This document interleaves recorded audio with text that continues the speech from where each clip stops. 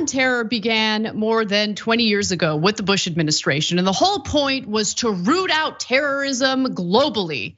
And as you might already suspect, that war on terror has been a complete and utter disaster.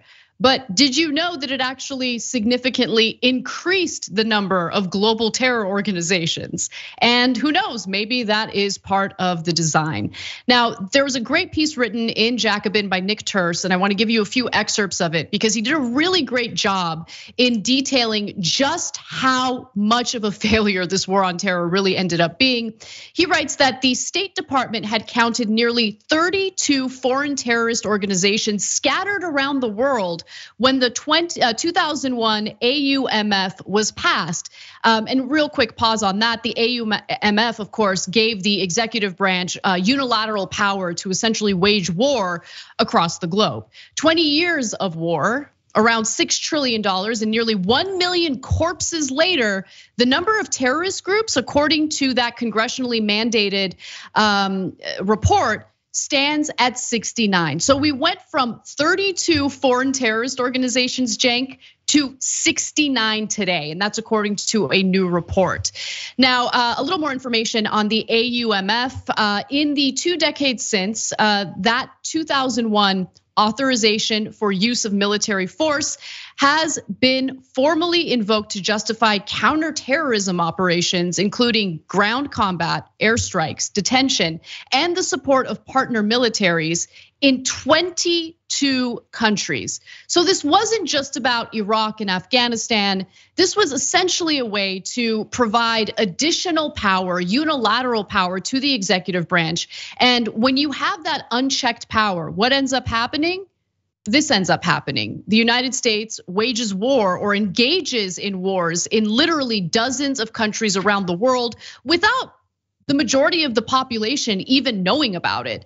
Many of these countries, by the way, are in Africa, including Mali, uh, Niger, and also Kenya.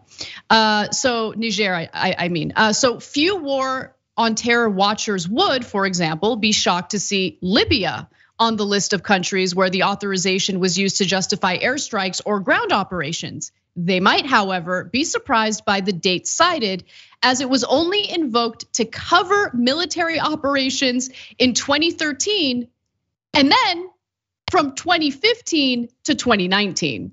So just when you thought that the United States uh, was done completely destroying Libya, we weren't done yet. We were actually still uh, involved in Libya between uh, 2015 and 2019. And guess what? Biden continues these failed policies. While we did give him some credit for pulling troops out of Afghanistan, he recently wrote a letter to Congress letting them know to rest easy because the failed US foreign policies of previous administrations continues. Last month, in fact, Biden informed Congress that troops continue detention operations at Guantanamo Bay, Cuba, and support counterterrorism operations by the armed forces of the Philippines. He also assured Congress that the American people, uh, Congress and the American people, that the United States, quote, remains postured to address threats in Afghanistan. Um, continues its ground missions and airstrikes in Iraq and Syria, and has forces deployed to Yemen to conduct operations against Al Qaeda. And there's much more to that, uh, which I can get to a little later. But I wanted to get your thoughts first, Cenk. Okay, there's two other devastating uh, stats here. Um, so the first authorization included $40 billion in funding. And they basically uh, implied that'll do it. You know what it's cost now? All of these different operations, $5.8 trillion. So we wasted $6 trillion and created twice as many, way more than twice as many terrorist groups. And they said we were wipe out, wipe out terrorism. We increased terrorism. I'm gonna get to why in a second, okay? Um, how many people have died uh, in all of these operations? About a million. We killed a, we've spent six trillion dollars killing a million people, which led to far more terrorism rather than less terrorism. So any rational policy person would look at this and go, well, obviously this didn't work. And it's not like we barely tried it, we tried it for 20 years. There's no question that it is a spectacular failure. It's one of the biggest failures in American policy history. Yet, everyone in Washington, both Republicans and Democrats say no. They look at the same exact numbers and go, nailed it, let's keep it going. Mm-hmm. No, that makes no rational sense. Hence, there's got to be a different explanation. Like when you go to the right wing, they'll say, oh, it's the Soroses and the lasers and whatever the hell, you know, insane theory they have. We on the left have a different theory. It's called money.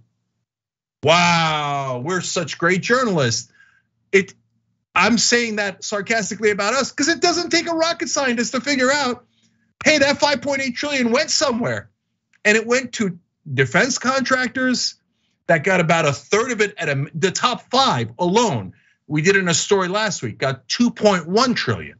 So that's about a third of the money, over $2 trillion, went to guys who have hundreds and hundreds of lobbyists and give millions of dollars to American politicians but I'm sure that's a startling coincidence. Otherwise, all the other reporters in the country would have covered it, right? And look, the failures, and this is me speculating, but I think this is an educated guess. The failures of the war on terror, it's not a flaw in policy. I really think that this is a feature of the policy.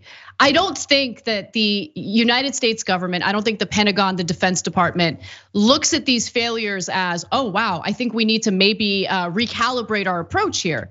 They see this as fantastic. It's working the way it's supposed to work, which means year after year, Congress can continue approving more and more, appropriating more and more of our resources toward defense spending. And while we continue failing, we'll get rewarded for that with additional funding, right? Look, there's an entire industry that profits off of war, as we've talked about so many times before. So this is not the bug, this is the feature.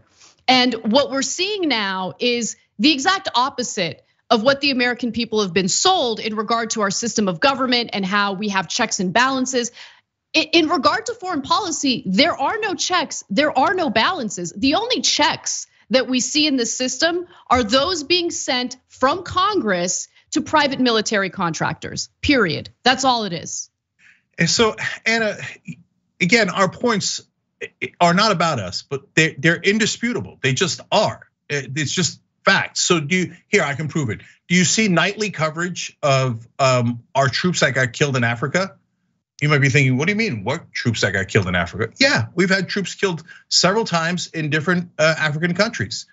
And it's almost never reported, uh, and it's certainly not emphasized. Um, we've got over 3,000 troops in Jordan. Did you know that? We've got over 2,000 troops in Saudi Arabia. We've got all these troops everywhere, and sometimes they die because they're in the middle of conflicts. But no, no, no, no, no, no, no. If you listen to the Democratic Party, they are not conflicts or hostilities. When we launched 243 Hellfire missiles in Libya, the Obama administration said that did not qualify as, quote, hostilities.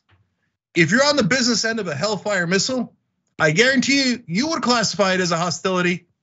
So we launch, they're called Hellfire missiles. Seems we launched delightful. hundreds of them.